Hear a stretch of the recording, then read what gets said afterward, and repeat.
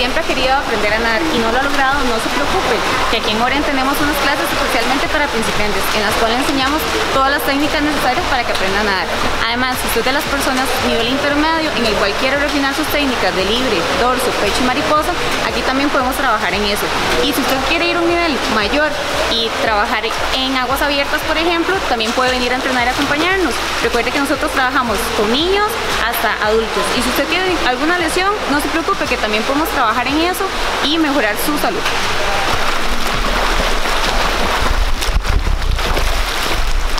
A mí lo que me gusta venir a Morén es porque obtengo más disciplina, mejoro la técnica, ellos cumplen con todos los protocolos de salud y los profesores son unos cracks. Hola, hola, ¿cómo están? Quiero invitarlos a que vengan a Morén, que traigan sus niños a las clases de natación. Tenemos cuatro niveles, principiantes y principiante B, intermedios y avanzados. En esta piscina trabajamos los niños que vienen iniciando a partir de los tres años, entran sin el papá, que disfruten. Y en la piscina grande trabajamos los chicos ya más, poquito más avanzados. Trabajamos por medio eh, aquí de juego, diversión, que ellos aprendan a disfrutar el agua. Y en la piscina grande a que perfeccionen su técnica.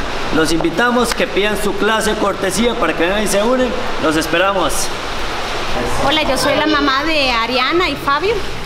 Ellos empezaron aquí en Morén desde que tenían un año y dos meses y nosotros estamos muy contentos de toda la experiencia aquí en Morén porque mis hijos en este momento ya saben todas las técnicas de salvamento, se desenvuelven muy bien tanto en piscina como cuando vamos a vacacionar.